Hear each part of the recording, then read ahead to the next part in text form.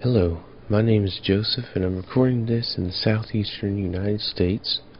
Today I want to show you a new selection tool that we haven't covered before and that's called the foreground selection tool.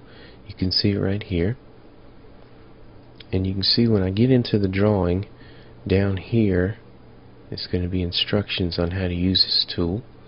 So the first thing we'll do is draw a rough circle around the object that we're interested in. Next thing we're going to do is mark the foreground by painting in it. And I'm going to try to paint just about every shade of this white flower. As soon as I release the mouse button, you can see it begin to calculate. And there we go. We have a real quick selection. Now I'm going to hold the control key down and use the middle mouse button to zoom in. You also notice that when I hold the control key down that my cursor shows an eraser. So I'm going to let up on it, hold it down, see? Now what I can do here is erase portions that I'm not interested in. And as soon as I release the mouse button again, it will begin calculating once again.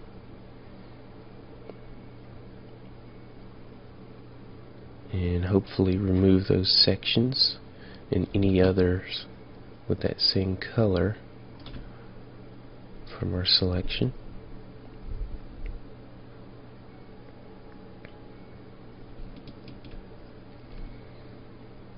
And we've got a little bit here still.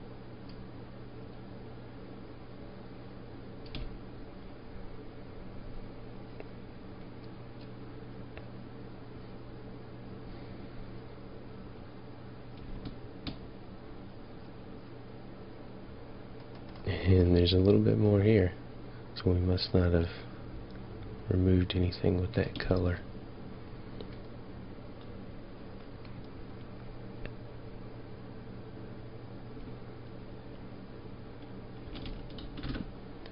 Now all I have to do is press the enter key.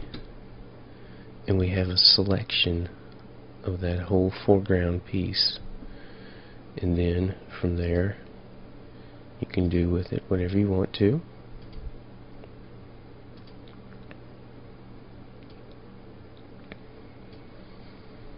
And there you have a rough introduction to the foreground selection tool. So let's go in a little more detail with this tool.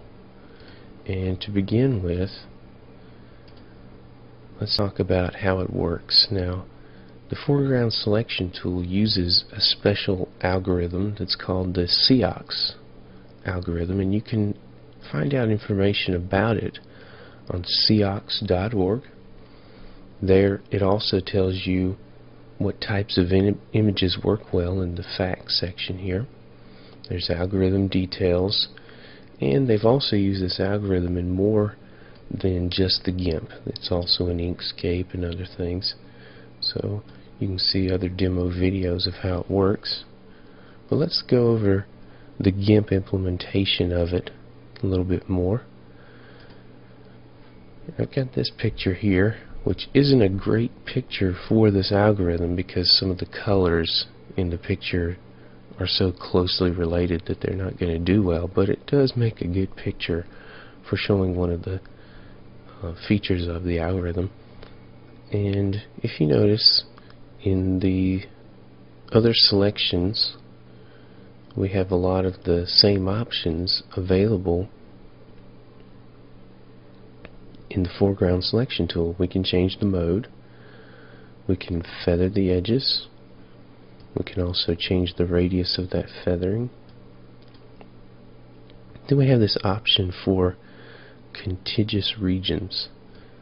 The select contiguous area when selected will only view the face that you're interested in. So let's do a demo of that. Let's select the whole area with all three of the faces. And then we'll make a selection on this face. And with the contiguous selected, we should only have this area selected.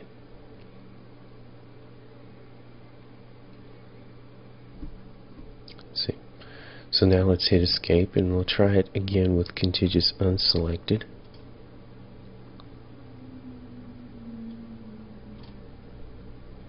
We'll select the same face.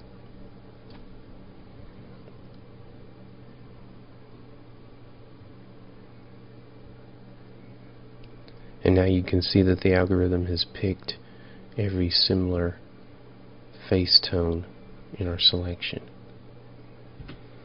There's also a few other options that you can change. And I believe we'll get another picture to show that because this is a better picture.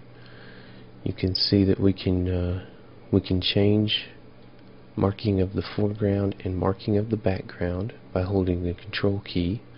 Or you can do it here if you don't want to hold the control key. You can also vary the brush size and there's an option for smoothing here which I don't have a good handle on um, I, th I think what it, you really need to do there is experiment with this especially if you have an image that isn't working well with the algorithm. There's also the uh, view color. We can change that to a different color. Let's try drawing our selection here now.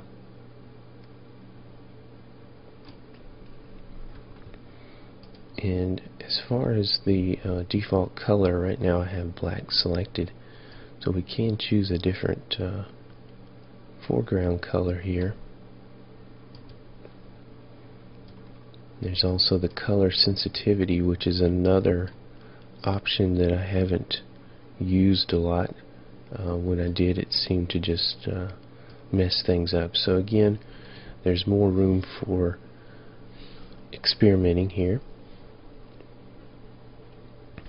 But let's go ahead and zoom in here and do a little bit more selecting.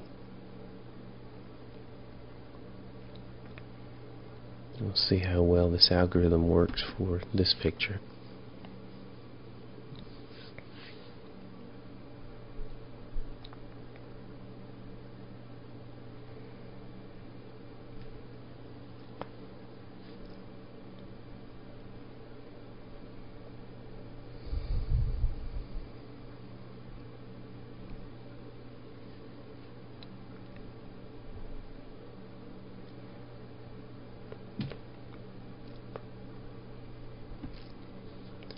And as you can see this picture works really well.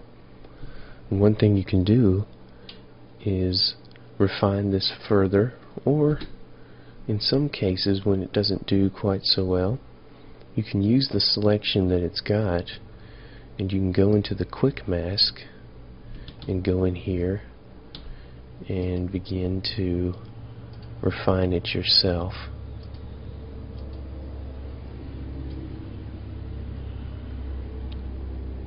and that was a bad example but you can see how this can easily be used to give you a real quick rough selection and then you can refine it quickly and you can tell that, that it's done a, a decent job of giving you a good feathered selection there and with that I think we're done showing you the foreground selection tool. Thank you for watching.